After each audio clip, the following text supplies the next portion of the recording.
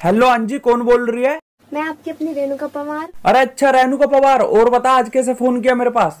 हो बात करने की सोचूं। हाँ कर क्या बात करनी है? फ़ोन आवे तेरा वेट में। अरे हाँ वो मैं अपनी सेटिंग से बात कर रहा था इसलिए मेरा फ़ोन बेचते जा रहा था जरा बता वैसे क्या हुआ? आऊँगी बारात लेके तन के ले जाऊँगी क्या बारात लेके आएगी? अरे पागल वागल तो नहीं हो गया कहीं तू? रांची रांची